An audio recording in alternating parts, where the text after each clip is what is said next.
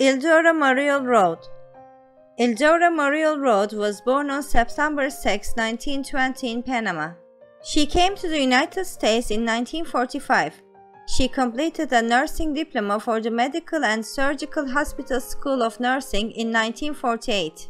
She earned an undergraduate degree in the teaching and supervision of psychiatric nursing from Teachers College, Columbia University.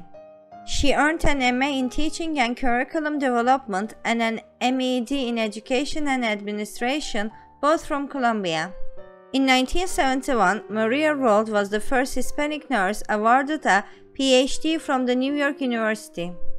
She was dedicated to Hispanic population in her work as a psychiatric nurse and focused on cultural awareness in nursing practice.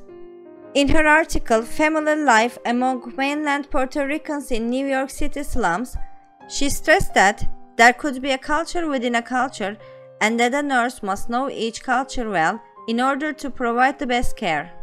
Murillo-Rohde became an associate dean at the University of Washington and was the first Hispanic nursing dean at New York University.